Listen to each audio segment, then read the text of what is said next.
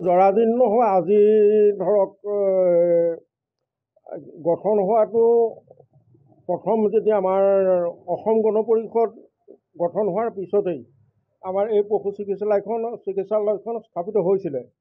কিন্তু এই চিকিৎসালয়খন মাত্ৰ দহ বছৰ কি আঠ বছৰ ইমানহে আমাৰ সুকলমে চলিলে।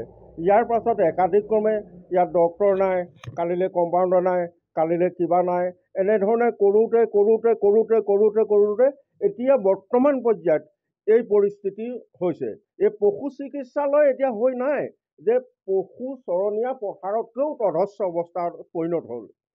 যিহেতু ইয়াতো আমি বাৰম্বাৰ আগত অভিযোগ বা বিভিন্ন মিডিয়া যোগে আমি মানে কৈ আছোঁ আৰু বিভিন্ন যুগত আমি অভাৱ অভিযোগ সম্পৰ্কত আমি দি আছোঁ। দিয়াৰ পাছতো বিশেষকৈ এই কথাটোত তেওঁলোকে আজি যিসকল মুৰব্বী আছে তেখেতসকলে গুৰুত্ব দিয়া নাই। কাৰণ সৰ্ববৃহৎ টেঙানী আৰু এইফালে ৰতনপুৰ পঞ্চায়ত সামৰি প্ৰায় ত্ৰিছ বা পঁয়ত্ৰিছখন গাঁৱৰ ভিতৰত একমাত্ৰ প্ৰতিষ্ঠান আছিলে এইটোৱেই। কাৰণ কি এতিয়া যিটো সমস্যা আমাৰ সৃষ্টি হৈছে কোনোবা এজনে ধৰক আমাৰ গৰু এটা বেমাৰ হৈছে বা কোনোবা এজন ছাগলী এটা বেমাৰ হৈছে চিধাই আমি ডক্তৰৰ কাৰণে হাহাকাৰ কৰিব লাগে। আমি সৌ জামুগুৰিৰ পৰা আমি ডক্তৰ ইয়ালৈ আনিবলগীয়া হয়। সেই ডক্তৰজন অনাৰ লগে লগে আমাৰ খৰচ পাতি কথা আহি পৰিলে বহুত কথা পৰে আৰু সময়মতে সেই ডক্তৰজন আমি নাপাওঁ। কাৰণ আমাৰ এৰিয়াৰ ডক্তৰ নহয় গতিকে আমি জামুগুৰিৰ পৰা আমি আনিব লাগে। আৰু তেনেকুৱা অৱস্থাত আমাৰ পৰিণত হৈছে। কাৰণ কি আমি আগতো বহুত আবেদন নিবেদন আমি জনাই আছোঁ। আৰু বৰ্তমান চৰকাৰখনে মুঠেই গুৰুত্ব দিয়া নাই।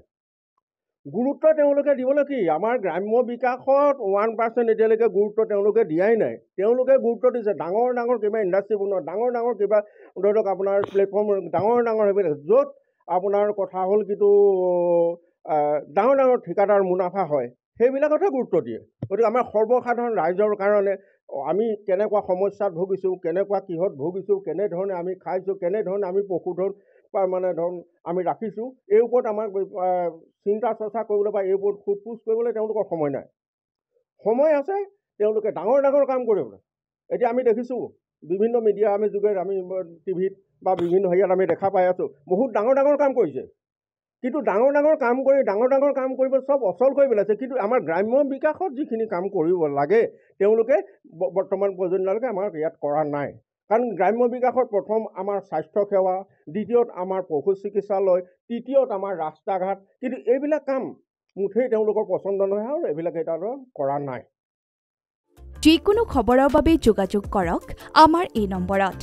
Seven zero' double nine zero' one seven double three zero' আৰু seven zero' double nine zero' one seven double one zero'